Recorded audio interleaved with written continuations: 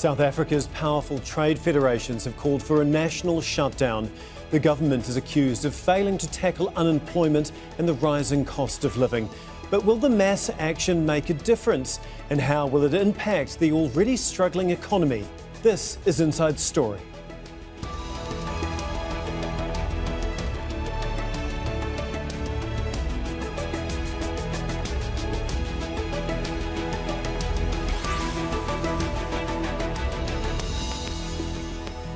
Hello and welcome to the program. I'm Tom McRae. Thousands of South Africans have joined a protest march organised by trade unions. They're frustrated by rising unemployment, increasing food and fuel costs, and daily power outages. Rallies have taken place in all provinces, with the largest in Cape Town and the capital, Pretoria. Two powerful trade federations had called for a total shutdown of the economy demanding a government cap on fuel, a stable electricity supply, and a basic minimum wage. We'll bring in our guests in a moment, but first, Al Jazeera's Fahmida Miller has more from Pretoria. A few thousand workers have come out to Pretoria, the capital city of South Africa, to protest against the high cost of living. There are a number of different unions here, but the common thread amongst them all is just how expensive it is to live in South Africa, and that's especially after the COVID 19 pandemic, where thousands of jobs were lost uh, and people with, were without an income. Now, while the government has put in place a very basic benefit of about $20 a month for those who don't have jobs, it simply isn't enough, especially for the working class who say they can't afford the escalating cost of electricity, food, which has gone up at least 10% over the last year, as well as the poor transportation and also, again, the high cost of that. Now, they say they want immediate attention from the government, who they say hasn't done enough to address some of these major concerns, especially amongst the working class and the poor. Inflation has gone up uh, by 7.8%, the highest in the in 13 years. And so for many South Africans, it really is a struggle to survive day to day. Fahmida Miller, Al Jazeera for Inside Story, Pretoria. Let's have a closer look at the situation in South Africa. The economy has been stagnant since the 2008 financial crisis. It's deteriorated further due to the fallout from the COVID 19 pandemic and the war in Ukraine. Inflation hit a 13 year high in June, mainly driven by rising food and fuel costs. Last year, unemployment hit a record 35%. Now, the figure is even higher if it includes the number of jobless people who've stopped looking for work. Women are among the most vulnerable. Nearly one in every two women doesn't have an income.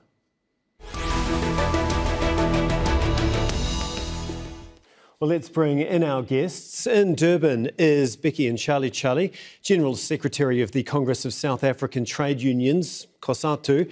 In Pretoria is Jannie Rossouw, economist and visiting professor at Wits Business School. And going back to Durban is Dakota Legoete, the national spokesman of the African National Congress. A warm welcome to you all. Thank you very much for being on uh, Inside Story. Uh, let's start with you, Becky, as you call for the strike action. Has it been a success, and uh, is this just going to be the first of many? Thank you very much. It has been a, a very successful. Uh, you look at the numbers, you look to the the impact of the strikes in many of the towns in which we're marching, shops were closed. But this strike, this is a protest action in the main. It's intended to raise the issues and to get the society uh, debating and discussing the problem that they are facing and hopefully government will then respond to the crisis that we are having. Uh, so we raise the crisis, 10 million of unemployed people, 17 million on social grant, 10 million on a 350 rand per month, uh, the electricity problems, the young people unemployed, gender-based violence is uh, going uh, beyond proportions. So we hope that with this action, which was a peaceful, workers were joined by other uh, people in the society raising the same voice about the problem. So we think the message has been driven home. So we can say it's successful. Okay, Dakota, has the message been driven home? Have have you, the ANC, have you got the message? Indeed, uh, we've got the message as the African National Congress, and uh, issues which are raised by the workers are well appreciated. You know that uh, in our country, in line with our practice as a constitutional democracy, workers have a right to strike, have a right to protest or demonstrate, and they've exercised that particular right which is enshrined in the Constitution of the Republic in terms of Chapter 2 of our Constitution. And I think issues that they are raising are issues that are of serious uh, concern for us as the governing party, in particular issues related to the cost of living, uh, in particular the issue related to unemployment, in particular issues related to energy security, gender-based violence, and general safety in our country. Are issues that we also as the African National Congress take it at heart. And I think it's incumbent upon us as the governing party to take them up with the authorities because we need to respond to our workers. But so far, with the latest statistics from the job survey yesterday of Statistics South Africa, uh, we've shown a, a, small decline of 3% from 39% of unemployment rate. Now we are standing at 36%, but it's still not positive given the numbers that went down to unemployment as a result of COVID 19, but uh, as a result also of a sluggish economy. And I think it's incumbent upon us as the governing party, as COSATU, as the private sector to finalize our social compact and find the best way uh, for all of us as a nation to win because where we are now, we are not in a good position. No, I think most people would agree with that. Jannie Rossouw, I'll bring you in now. What economic impact does a strike like this have? And as we've heard the unions say, more are planned. So, what effect will, will that have if, if they do carry on having more strikes like these? Well, a strike of any sort in any economy raises the cost of employment of labor, makes it more uh, uh, expensive to employ people. So, as a result of strike action like this, employers will try to find ways to replace workers with uh, capital. This is especially true in the midst of a fourth industrial revolution where new technologies are developed all the time that can replace workers. So, from that perspective, a strike is really not helping the plight of the unemployed. I do agree that South Africa is in a serious crisis. We need higher economic growth to find employment for our people. The two things that the ANC government cannot do and that we urgently need in South Africa is to fix Eskom. There will be no investment until such time as we have uninterrupted power supply. And secondly, fix the municipalities. We need service delivery from our municipalities. But this ANC government has no will to serve the people, as we've seen after a decade of corruption and state capture and this is the price that ordinary South Africans are paid for the mess that the ANC government has made in South Africa. Okay, Dakota, what's your response to that? Is this your mess? Look, uh, with all the challenges that we have, I think it's uh, uh, disingenuous to say that the ANC messed up the economy. You would understand when we took over in 94, we took over with the understanding that all of us will embark on a social compact, who are bringing reconciliation, and we want capital to reinvest in the economy, which has not been the case. Uh, with what happened, we have said we will recover and recoup all monies which uh, were lost through corruption. But equally, we still expect the private sector to bring their part, which has not been happening, uh, particularly in terms of reinvesting in the economy. You would know that in this economy, there is over 6 trillion rand that is underutilized by private sector, which they are not even uh, willing uh, to invest back into the economy. There is an investment boycott, which is undeclared, but which is aimed at sabotaging uh, the governing party and the economy. And I don't think that is in the best interest of anybody it would be important that all of us uh, put our heads together, uh, embark on a social compact to ensure that we we, we get our uh, our country back uh, to where it's supposed to be. Any blame game will not help anybody. It's like me saying that I'm poor today because of those who colonized or, or those who are responsible for apartheid. It will not assist. What we need to work on is how do we build the future and reshape the country for the benefit of our children and those who will come after us. Okay, moving on from who's responsible to how do we go about fixing some of these problems. You know, we've we've heard uh, low wages, unemployment, inflation, the high cost of petrol and food. Bheki, can you lay out exactly what it is you want the government to do now? Our demands are both in government and, and, and business. We want, it, we want business to stop the investment strikes. We want them to, re, I mean, to mobilize resources and invest back to the economy. We want what they call it the investment uh, impact. So we want business to, to do that. From government, we want them to uh, amend the regulation 28, which allows the provident funds of workers to invest in on social development, on issues that uh, infrastructure, etc., and etc.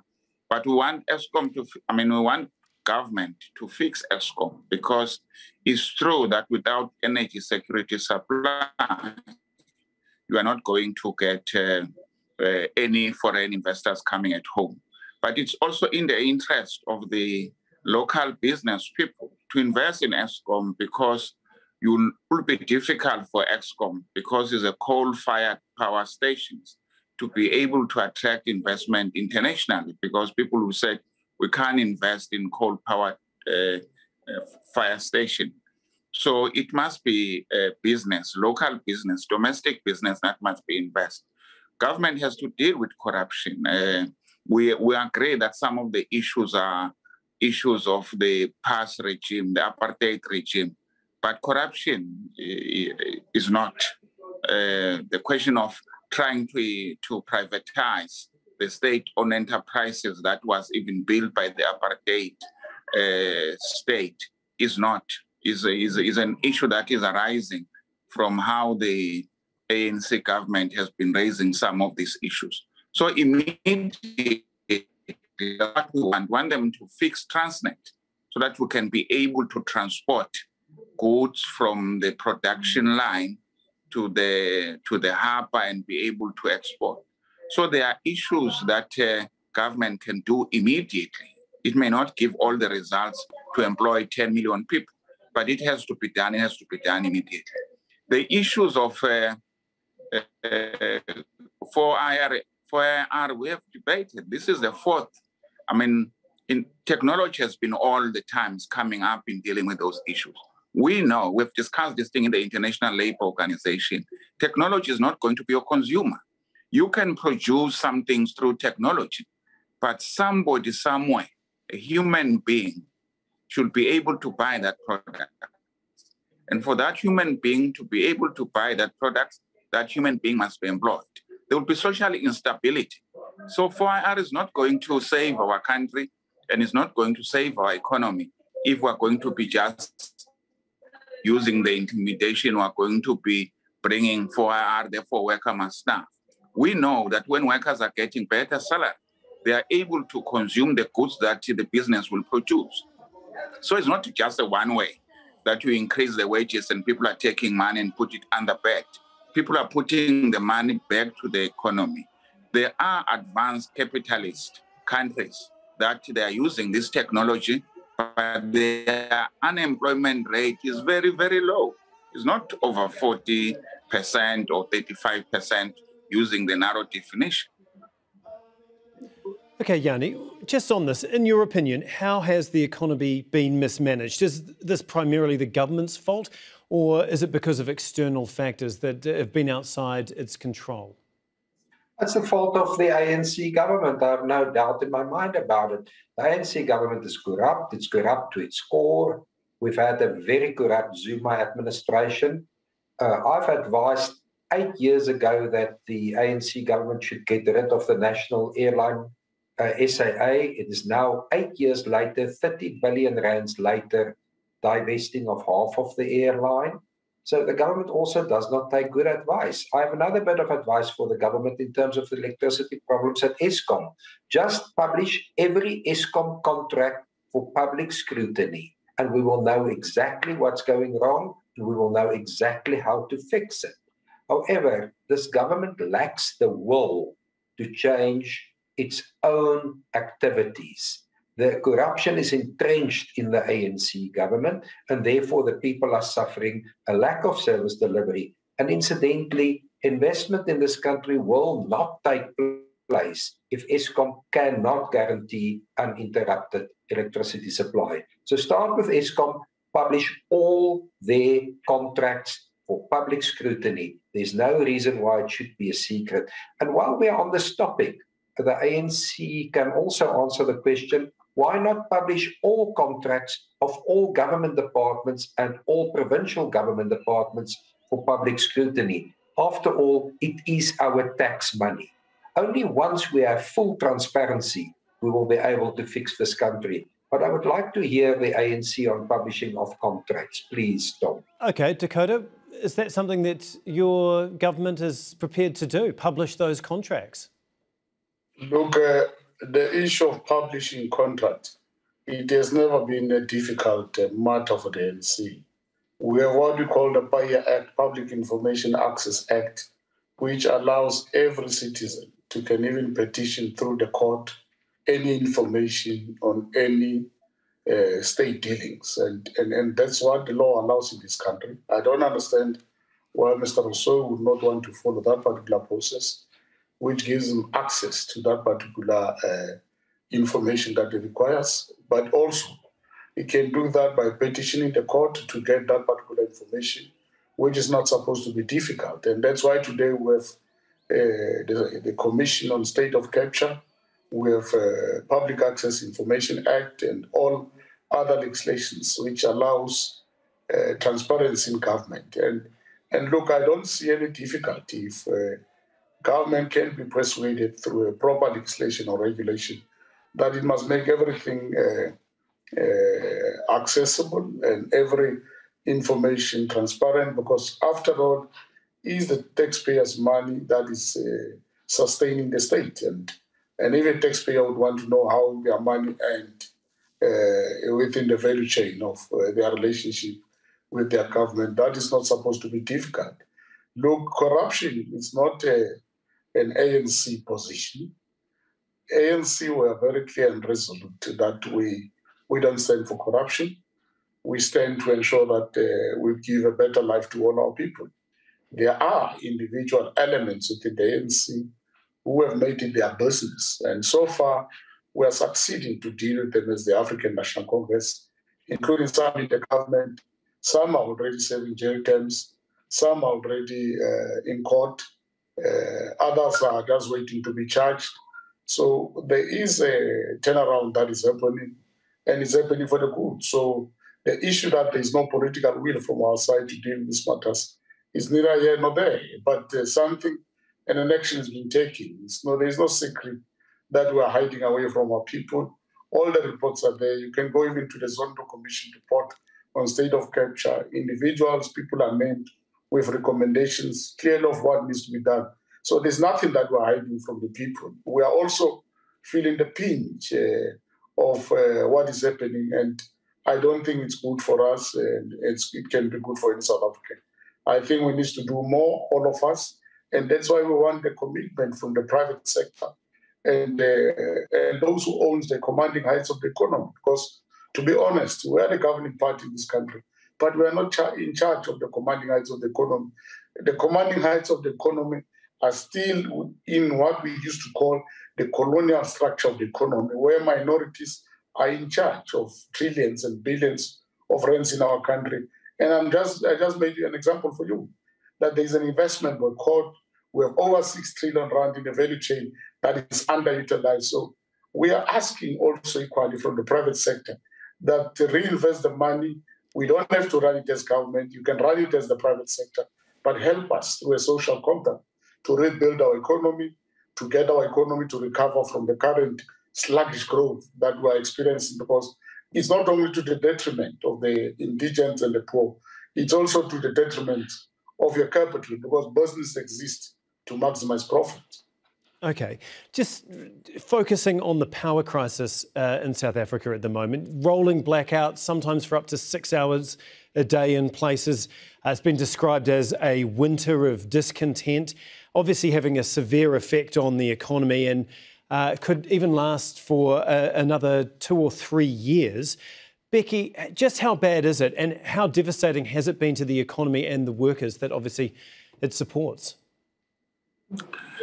Thank you very much for the question. Uh, firstly, I just want to uh, reiterate maybe the point that made that uh, corruption in South Africa is not only the, the politicians, but also the private sectors. They are deeply involved in corruption. So let's, let's accept that uh, it takes two to tango. Mm. Private sectors is involved in corruption. We've seen it through the Zondo Commission. In regard to your question, I think it's devastating. Uh, the the question of uh, this load shedding, stoppage and timing, and etc. and etc. And we understand because we have met with uh, the management, top management of Eskom and understand the problems.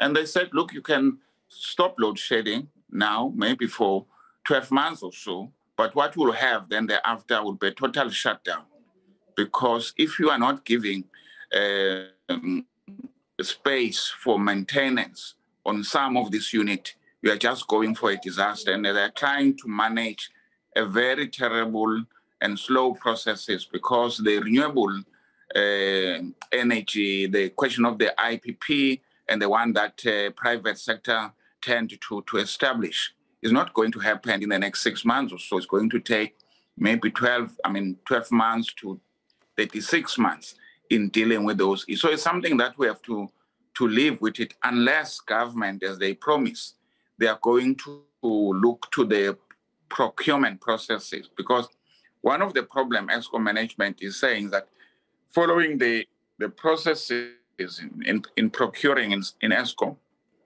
it takes for a very, very long time. By the time you receive the, the parts that you wanted, many other parts will be uh, affected in dealing with those issues. So if government can come up, bring Eskom on board and everybody on board and deal with this issue, I think we can uh, mitigate some of these processes while we're trying to find a lasting solution. But it's devastating. Okay. Jannie, I just want to finish with you briefly here. Uh, on unemployment, obviously, you know, at record highs, why can't South Africa's economy match the demands or availability of that workforce? I mean, you've got very high unemployment, but also a youth unemployment, but a really highly educated one. What is the main issue there?